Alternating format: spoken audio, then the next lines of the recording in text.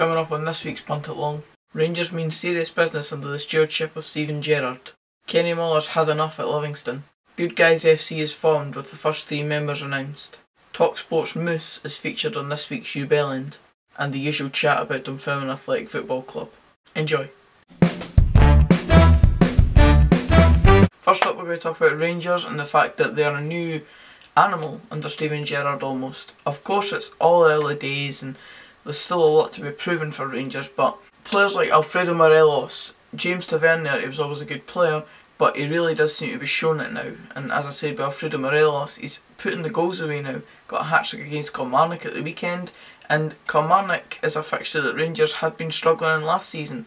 And that's my main point with of Rangers and that. They're making big strides in rectifying the mistakes they've been making in these so-called banter years, as their fans like to say. I think there's just something about Rangers and Steven Gerrard and stuff, like the fact that they've got a manager that the players obviously appreciate and respect and stuff. That goes a big way in at least making a team coherent and fighting for each other and stuff, especially when the guy that is your manager was like that as a player as well in these so-called banter years, of course, they've had terrible signings, they've had terrible results and terrible managers. And with the last one, this season has all started with appointing, as I said, a respectable manager and one that people actually take a bit of credence from and don't just think he's sitting there talking shit. And like at the beginning of last season when Pedro Caixinha came in, there was a bit of buzz, but at the end of the day, he was just a bit of a donkey that had been congratulating Celtic in previous years. Celtic brothers, I would like to congratulate you for the fourth win in a row.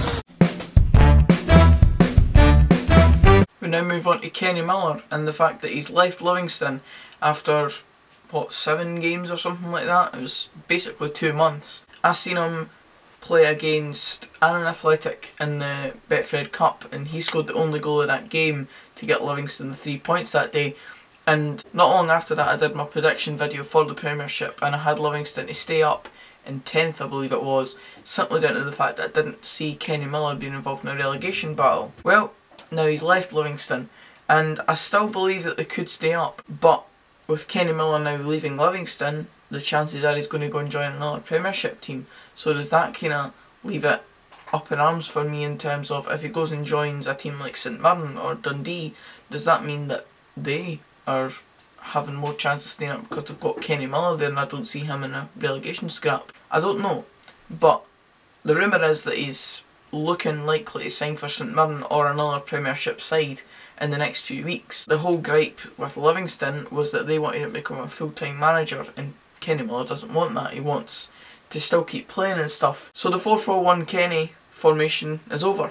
I'm sure Kenny Miller will go and get a club elsewhere, but as far as Livingston go, as I said, bring back David Hopkin. As you all know, we've got Fraud FC up there. But I've decided to go down a bit of a different path as well and create a new team. You might be able to see it up there. So aye, Good Guys FC is now formed and I've got three new members to include in it. Jimmy Milner, The Moff and Crouchy. What better lineup could you have eh? I've picked these guys mainly just because I love them and they're basically what I think football's all about. James Milner's Mr Dependable when it comes to even scoring in a game and going on to win it. I think it's now 38 games, 28 wins and 10 draws when he's actually scored a goal. So what better player to have in Good Guys FC? Peter Crouch, 200 goals now in his career and he's just a great guy. I just love him. And the Moff, what else can you say about the Moff eh? I mean we're ready to play him against Ayr on Saturday, so if he does anything there, then I might need to reconsider. He's just one of the good guys at football, and he does everything right in the game. Came for the juniors and made himself a real kind of staple head of lower league Scottish football, and he's just a lovable guy again. I just, I loved him at Dunfermline, and the type of player he is, he's just a class professional. We're now going to move on to the part of the series called You want to do now is get Scottish football back to, to where it once was. That's what we want to do. And what we want to do is do it in a proper, sophisticated, constructive way. I tell you what, which doesn't involve anyone calling it a pub league. Let's not choose the best game in the, in the, in the whole of the league to, to, to, for you to show me this. Take me to Dundee against Hamilton, and then we'll walk away and I'll go, yeah, right, I could have gone and watched Concord Rangers but this you- afternoon you- again. I've had enough of him already. Moose on Talksport. Talksport seems to have a few bright bellends in their lineup really. Jim White, he's obviously had his say in recent weeks on when Adam Rooney left Aberdeen.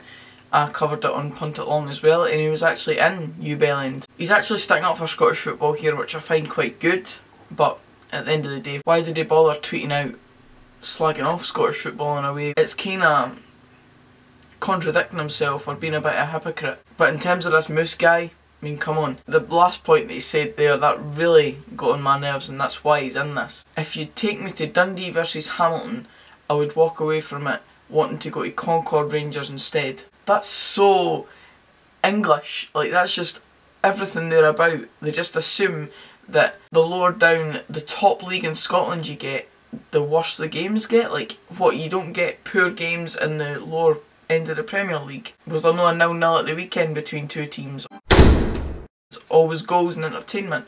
Don't think so. So I don't understand why if it's no Celtic or Rangers, then English people just aren't bothered at all. It's so frustrating because our game's brilliant and the passion that's involved, there's so much that you could document there and there's so much that you could actually get out of Scottish football and actually do it in a good and, as Jim said there, a sophisticated way, building Scottish football back up to what it could be because it could be great. And it is great, but it could be showcased more on television or whatever.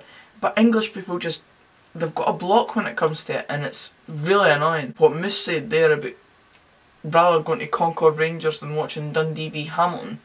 Get in the bin, son. When they're going to go full circle and go back to my team, Dunfermline. I've talked about the result of the weekend, I'm not going to go back over it anymore. We've got Ayr United coming up.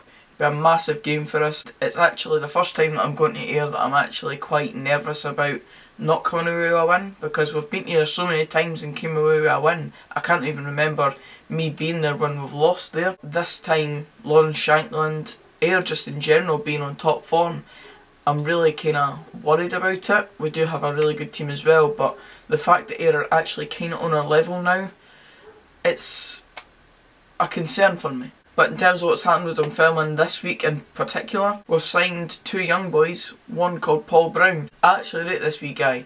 I've seen him play against Kelty and he's one of those nippy wee players. He's a bit like Josh Fulkham in the middle of the park.